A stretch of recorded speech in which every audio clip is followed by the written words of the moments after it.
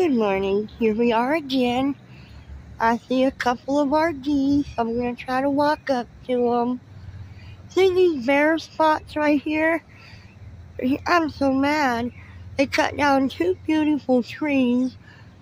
And the dude that donated all this land to the VA, his only provision was save as many trees as you can. They've been chopping trees down left and right and just, I don't know, I was a tree hugger or that was even a term. There's some more, there's another three.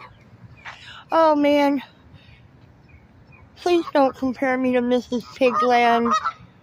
How, how? Yeah, I hear you. Well, that sounds terrible. Tell me all about it. Alright, later, dude. Bye. Well, that can't last too long. So here I am on my way to work. It's 37 degrees out. It'll be 74 by the time I get off. Man, some of these people drive crazy. When I lived where there was one-way streets, people used to laugh at me because I looked both ways before crossing a one-way street. Have you ever seen how many people drive the wrong way down a one-way street? Right there is building 10.